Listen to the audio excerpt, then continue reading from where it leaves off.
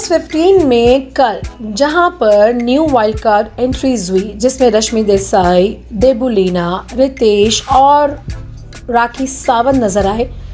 जैसे ही ये चारों जन अंदर गए, हर एक के बारे में वो बताते हुए नज़र आए कि आप बाहर से ऐसे दिख रहे हो। वहीं पर शमिता शेट्टी कहीं ना कहीं बैकफुट में जाती नज़र आई। शमिता राजीव से ये कहते हुए नज़र आई कि मैं ट्रैप होती नज़र आ रही हूँ, मुझे बिल्कुल भी पसंद नहीं आ रहा। कि मेरे नेगेटिव पॉइंट्स को ज़्यादा से ज़्यादा नेशनल टेलीविज़न पर उछाला जा रहा है। मेरे में पॉजिटिव भी है, लेकिन उस बात को किसी ने भी नहीं बताया। नेगेटिविटी ही बताई जा रही है कि तुम डोमिनेट करती हो, तुम अपनी ही बातें मनवाती हो तो ये बात मुझे बिल्कुल भी पसंद नहीं आ रही।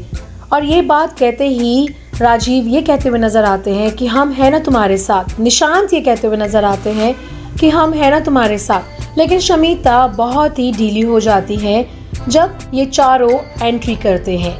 इवन रात को राखी के हस्बैंड रितेश भी ये बात करते हुए नज़र आते हैं राखी सावंत से कि शमिता ने कुछ नहीं कहा। शमिता इतनी चुप क्यों हो गई? राखी ने कहा कि आप बात करोगे तो वो बात करेगी। आपको तो शमिता बहुत पसंद है तो आप जाकर क्यों बात नहीं करते?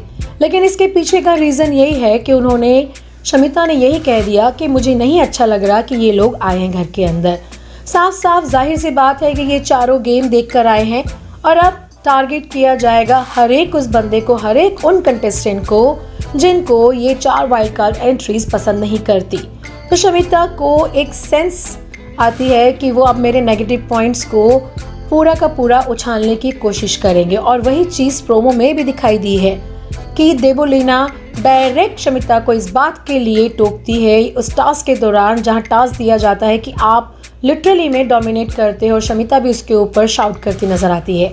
अब तो ये आज के एपिसोड में देखते ही बनेगा।